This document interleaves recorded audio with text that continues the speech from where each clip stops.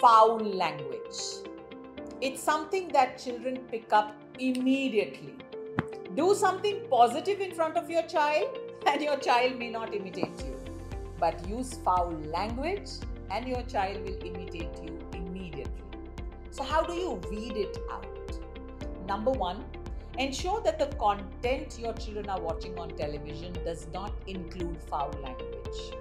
And don't be surprised, a lot of cartoons that children are watching have a lot of foul language. Number two, do not use foul language in front of your child. Because if you are going to use foul language, then well, children learn by imitation. And number three, when you catch your child using foul language, it's important to immediately correct them. Be firm and be consistent. Every time they use the foul language, immediately correct them. Be firm, be consistent. If you give up by saying, Oh my god, so much of foul language is using, how many times should I correct him? Well, it's a test that your child is using with you. Who wins?